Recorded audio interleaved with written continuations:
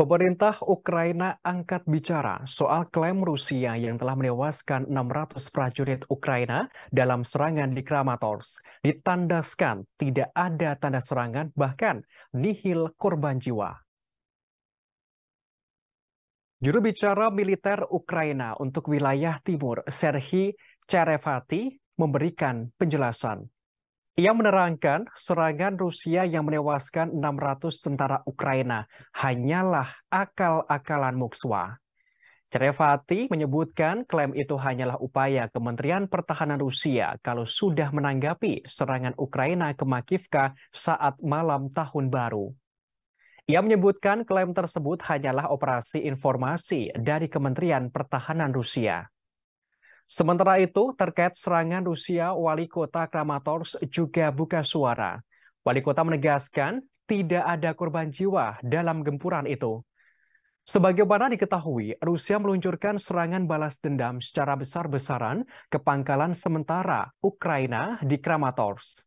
Akibatnya sebanyak 600 prajurit Ukraina tewas Hal ini dibeberkan oleh juru bicara Kementerian Pertahanan Rusia, Letnan Jenderal Igor Konasenkov. Diungkapkan serangan roket Rusia skala besar terjadi pada Minggu 7 Januari.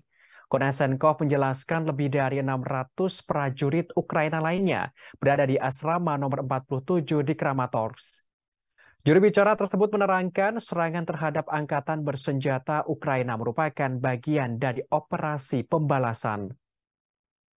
Sebelumnya, Ukraina telah menyerang ke kamp pasukan Rusia di Makivka di Donetsk pada malam tahun baru 2023. Dalam penyerangan itu, pasukan Ukraina menggunakan sistem HIMARS yang dipasok Amerika Serikat.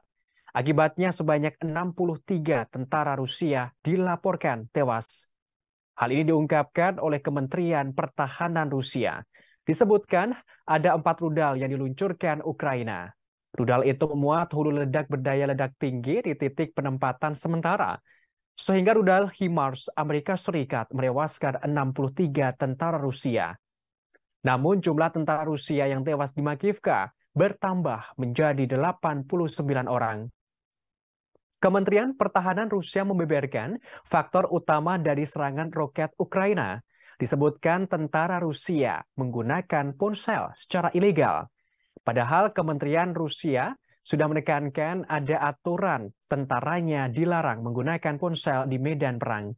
Diungkapkan, penggunaan ponsel itu memudahkan musuh melacak dan menentukan koordinat lokasi tentara untuk serangan misil.